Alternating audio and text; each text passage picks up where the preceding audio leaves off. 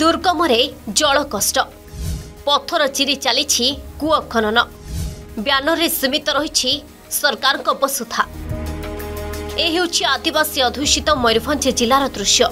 Badasahi block ଅନ୍ତର୍ଗତ ଯଦୁନାଥପୁର ପଞ୍ଚାୟତରେ କେନ୍ଦୁଗାଡ଼ି ଗାଁ। ଏଠାରେ ବର୍ଷ ବର୍ଷ ଧରି ଲାଗି ରହିଛି ଜଳ କଷ୍ଟ। ଟୋପାଏ ପାଣି ପାଇଁ ଲୋକେ ହନ୍ତସନ୍ତ ହେଉଛନ୍ତି।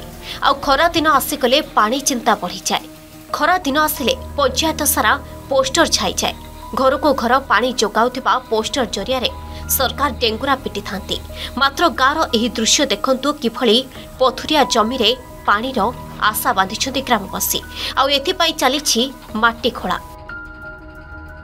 ଆମର ତ ସରକାର ତରଫରୁ ଯେଉଁ ପାଣି ଟାଙ୍କି ହେଇଛି ଆପଣଙ୍କର ତାଟକିରେ ତ ଇଆଡ଼େ ପାଣି ସପ୍ଲାଏ ତ ନାହିଁ ତ ହେଉଛି ହେଲେ ବି ସେଇଟା ଆଉ ପାଣି ପହଞ୍ଚୁନାହିଁ ପାଣି ତ ଆଶା ଆଶା ଚାଲିଛି ତ ବାହାର କରିବା ପାଇଁ ଆଉ ସରକାର ସିନା ସାର୍ କହୁଛନ୍ତି ତ ଆମେ ତ ପାଣି ପାଇଁ ନା ଆକାପାକା ହେଉଛନ୍ତି ଯେଉଁ ଯେଉଁ ହୁହାଲା କରୁଛନ୍ତି କି ଇଏ କରୁଛନ୍ତି ଗାଁ ଗାଁରେ ଦେଖୁଛି ଆମେ ଗାଡ଼ି ଗାଡ଼ି ସପ୍ଲାଏ କରୁଛନ୍ତି ତ ଆମ ପାଖରେ ତ କାହିଁ କିଛି ପହଞ୍ଚୁନାହିଁ ଏପର୍ଯ୍ୟନ୍ତ ପାଣିର ଅଭାବ ଦେଇକି ଏଇଟା ଖୋଳ ଆମେ ତାଳୁଛି ପାଞ୍ଚ ଛଅ ବର୍ଷ ହେଲା ସରକାରକୁ ଆଉ କ'ଣ କହିବ ସେ ତ ଚାହୁଁନି ଆମକୁ ଗରିବ ଲୋକକୁ ସେଇ ପାଇଁ ଖରା ତରାରେ ଚାଲିଛି ଆଉ ପ୍ରଚାର ଓ ବାସ୍ତବତା ଭିତରେ ରହିଛି ଅନେକ ଫରକ ଉପାନ୍ତରେ ପାଣି ପାଇଁ ଲୋକେ ଡହଳ ବିକଳ ହେଉଛନ୍ତି ଖରା ସହ ବଢ଼ୁଛି ଜଳ କଷ୍ଟ। କେବେ ପହଞ୍ଚିବ ଏହି ଉପାନ୍ତବାସୀଙ୍କ ନିକଟରେ ଜଳ।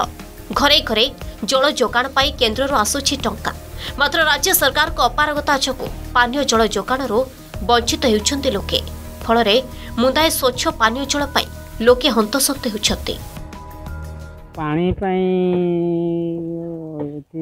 ଚାରି ପାଞ୍ଚ ଛଅ ଘର ଖଣ୍ଡେ ସାତ ଖଣ୍ଡେ ଖଣ୍ଡେ ଅଛି ଆଉ ସେ ପାଣି ତ ଦରକାର ନା ଆମର ଏ ଖରାରେ। ବହୁତ ତାଡ଼ା ହେଉଛି। ଏଠି ସରକାର ପାଣି ପହଞ୍ଚିନି? ନାଇଁ। କ'ଣ ପାଇଁ ପହଞ୍ଚିନି? ପହଞ୍ଚୁନି ଦୂରିଆନି ଅଛି ଏଇଟା ଗୋଟେ କିଲୋମିଟର ହେବ ଏ। ତ କଲେ ବି ଆଉ କ'ଣ କରିବା ଆଜ୍ଞା ନ କରି ତାଳିଲେ ତ କୂଅ ହେଉନି ନା ଆଉ କିଏ କିଏଠୁ ଆଣିବା? କେଉଁ ନାହିଁ କେନାଲ ହାଇ ଗାଁରେ ଅଛି ତାଙ୍କର ଦେବେନି।